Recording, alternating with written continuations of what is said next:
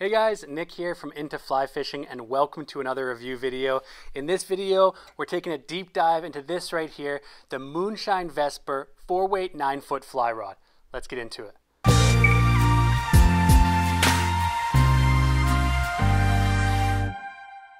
All right, so before I start this review, I have to let you guys know that Moonshine did send me this Moonshine Vesper fly rod and the Moonshine Creed reel to test and review, but in no way are we required to be positive about this product or any other product on this channel. In fact, Moonshine in particular tells us that we should be as critical as possible because they use reviews like ours and comments like yours to better their product with every iteration, almost every single year. So with that out of the way, let's get started and let's talk first about how I was fishing the Moonshine Vesper 4-weight fly rod. So like I said, I have this hooked up with the Moonshine Creed number 3-4 reel, and I have that spooled with some Rio Perception fly line, and this whole setup has been one of my favorites. I've been fly fishing here around northwestern Montana, mostly in small creeks with this one, but I also took it out to some larger rivers and I even fished it in some of the small mountain lakes up here.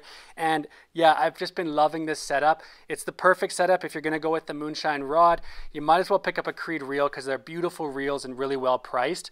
But I'm not gonna talk too much about the reel in this review video because we'll have another review video which I'll link to up here and you guys can check that out once it's live. So next up, I want to cover the build and construction of the Moonshine Vesper 4-weight 9-foot fly rod. So we'll start down here in the reel seat. Um, this is just a stunning looking reel seat. They have this kind of tobacco tiger print insert here that really adds character to the rod. And it's a double ring uplocking reel seat. And like I said, this is just a nice looking reel seat and it's functional. I like that they have the two rings, really make sure the reel stays in there secure while you're fly fishing and you're out on the water. And the reel seat itself is a nice sealed aluminum and that means that you're not going to have any problem fishing this thing in salt water. It is saltwater ready down there, so that's perfect. So next up, we'll move up on the rod to the cork grip. This is really, really high quality cork. They call it quadruple A cork on their website. All I can say is there's basically no imperfections at all in the cork, so you know they're using premium cork. And they've used some rubberized cork on the butt and on the tip of this cork handle. That's kind of a half Wells grip, which I really like. It fits my hand perfectly. I have pretty average hands for a guy who's six feet tall, and I find it really ergonomic to hold on to. And it's the kind of grip that you just expect from any four-weight fly rod. It's just the perfect style of grip to put on here. Moving up on the fly rod, we'll talk about the blanks.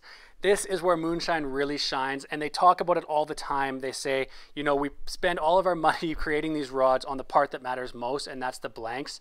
And they really do have beautiful blanks on all their fly rods, especially in the Vesper series. So these blanks are anti-glare, and they say they have midnight bindings, but that just means that basically all the thread wraps around the eyes and ferrules are black, and they also have these really nice metallic copper accents around them as well. And each section of the rod has those handy alignment dots that really do make it easier and faster to set up your rod, which is always nice to have on any rod. The blanks themselves are made with super high modulus nano matrix carbon fiber. And these blanks, like I said, this is where these, these rods really shine. What I love about this rod in particular is the blank recovery rate. When you cast this thing forward, it immediately straightens out to its former form. And it, they just are really high quality. They have the perfect, like hyper light swing weight to them. And yeah, once you have this in your hands and you cast it, you'll see what I'm talking about. They really are phenomenal blanks. Next up, moving up to the stripping guides, they have solid titanium frame SIC stripping guides on the Vesper series of fly rods. And then further up, they have light wire single foot guides. And there are 10 single foot guides in total running up the 9 foot rod and one single stripper guide. And moving up to the tip of the rod, it's a super sensitive tip so that you can detect any small strikes. It's firm enough that you can easily roll cast and mend your line while you're on the water. But what I love about Moonshine rods is that you don't just get one tip, you get two. So they include an extra tip section in the tube when you order these rods. And to me, that is just something that every manufacturer should do. It saves fishing trips all the time. I can't count the number of times that I've heard about people who've ruined their entire fly fishing trip by breaking the tip of their rod. It's the most likely place you're going to break a rod. So the fact that Moonshine includes an extra one for you free of charge is just an amazing, amazing added value to this fly rod. And when you order the Moonshine Vesper rods, they come in really nice, sturdy, hard rod tubes that are going to protect it while you're traveling as well.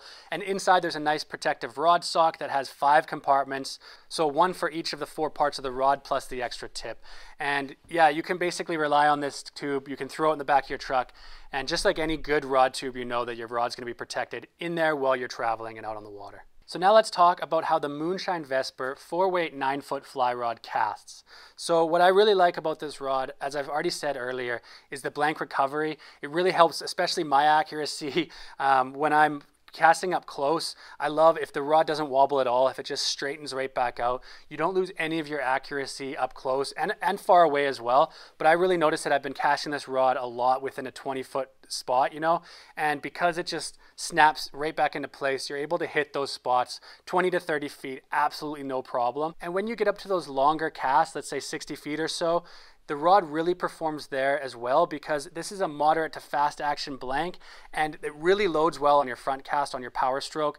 The rod loads beautifully even without overlining it. So you're really able to keep those tight loops. But because in the lower weights of this rod, they've made it moderate to fast action, that means it's also got a little bit of forgiveness. So if you're like me and your casting stroke isn't always 100% perfect, then it's got that forgiveness and you're still gonna hit your spots even if you don't time everything just right. So the rod is forgiving, but fast action enough that you really can load up that rod and fire that line out there. And one of the main features that I love about casting this rod is the swing weight. This thing is feather light in your hand and it just, you could cast it all day and feel great at the end of the day. I did. I had lots of long fishing days with this thing and there's really nothing I can say wrong about the casting accuracy and the feel of casting this rod. And really you have to have one in your hands to feel it, but they truly are wonderful rods to cast. They're just a dream on the water. So on this channel, we always like to make sure that we're trying to include some negative points about every product that we review on this channel. It's getting harder and harder these days because fly fishing companies really have excelled and taken fly fishing products to the next level.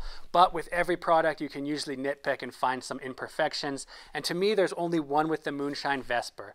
So I'm gonna list that now. One thing that I didn't love about the Vesper is the first time I took it out and I casted it for the first time, the line for some reason on this matte black finish of the blanks, when the line rubs past those blanks, it makes kind of a whistling sound, and I'll play a little audio of it right here. And that sound, of course, is not taking away from, you know, the performance of the rod, and I don't think it's loud enough to spook fish. It's pretty quiet. It's just kind of a strange thing that I don't have with any of my other matte black or matte finished fly rods. And I really wish th that there's some way to stop that whistling from happening. Um, I'm sure if you got the Moonshine Vesper Euro Nymph fly rod, you might not have this thick line on there. You might be fishing it with nylon lines. In that case, you're not going to hear it. If you're fishing up close, you're not going to hear it. But when you start laying the line out there and casting really far, it starts to make a little bit of a whistling sound. So if there's some way to silence that, that'd be great. But other than that, I really cannot think of anything wrong with this fly rod. So now let's talk about the price of the Moonshine Vesper 4-weight 9-foot fly rod. So actually, every single one of the Vesper fly rods come in at $449, and that includes the extra tip. So to me, you know, you're getting a quarter of the rod added on to the price, and you get that for free. And to me, that's just a fantastic value, even without the extra tip, really.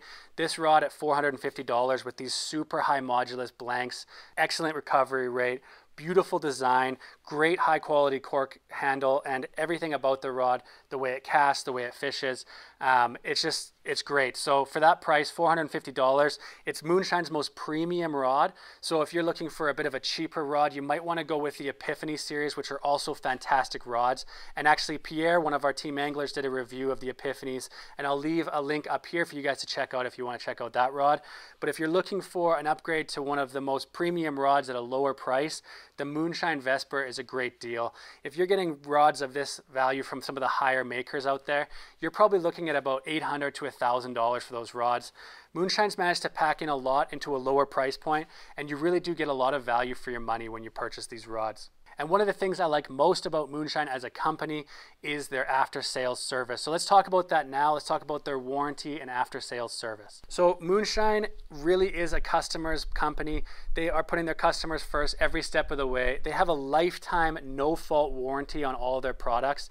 So if you break a tip section and then you replace it with the tip section that comes extra and you break another one, you just send it into Moonshine and they'll replace it for a fee. And you also have a warranty if you get any factory default out of the box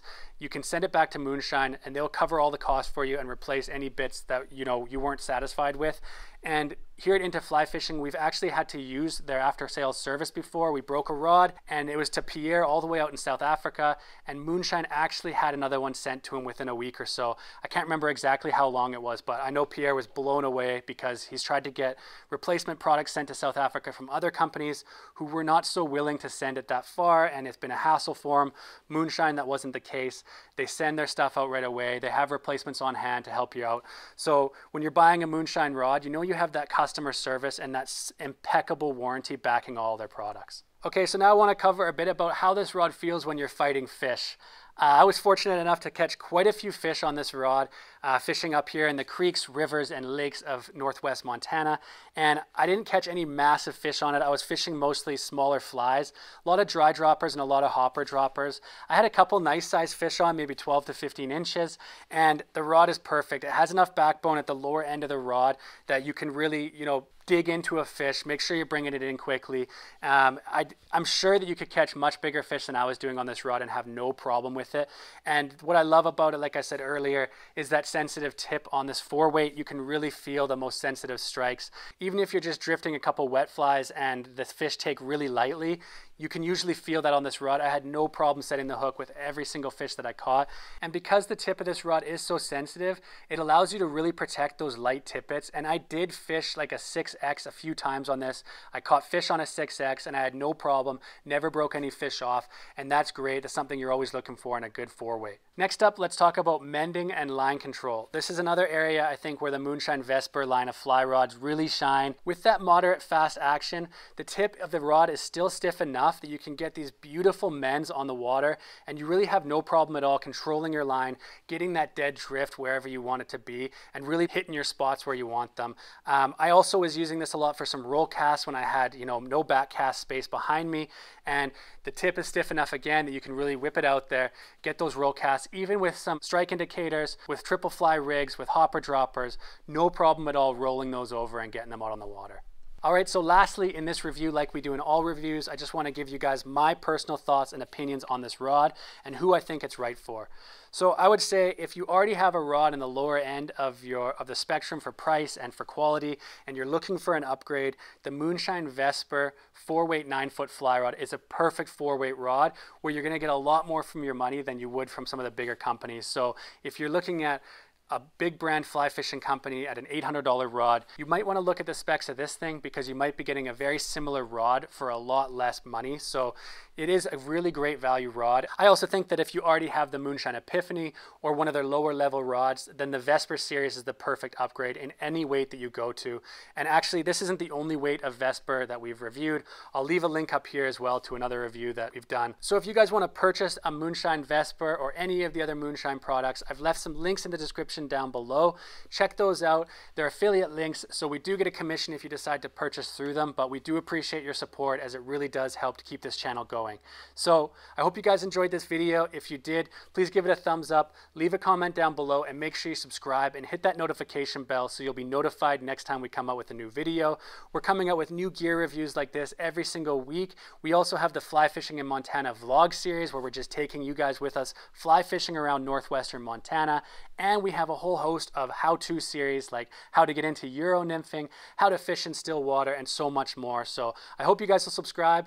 Until next time, tight lines.